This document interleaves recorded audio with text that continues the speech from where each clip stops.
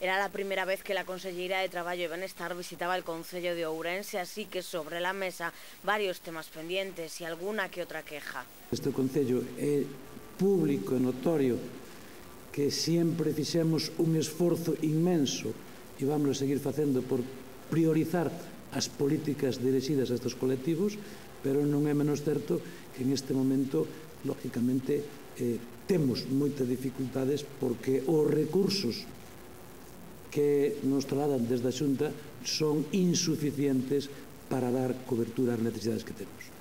Mato traía una buena noticia, una de las nueve escuelas infantiles que la Junta pondrá en marcha gracias a la Fundación Amancio Ortega se construirá en Ourense. El Concello buscará a partir de ahora el emplazamiento. La conselleira anunciaba también que antes de que finalice el mes de abril, el Concello recibirá 430.000 euros correspondientes a los servicios sociales básicos y al de ayuda no fogar para persoas con dependencia Tentamos, de alguna maneira, eh, para paliar e sendo conscientes das dificultades que están a vivir absolutamente todas as entidades, pero tamén os concellos de Galicia, tentar facer chegar canto antes eh, a financiación que precisan para prestar os servicios sociais.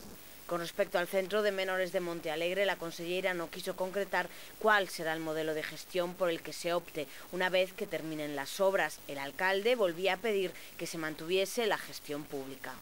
A xestión eh, que tempo a la da agora a que, vamos, a que imos manter.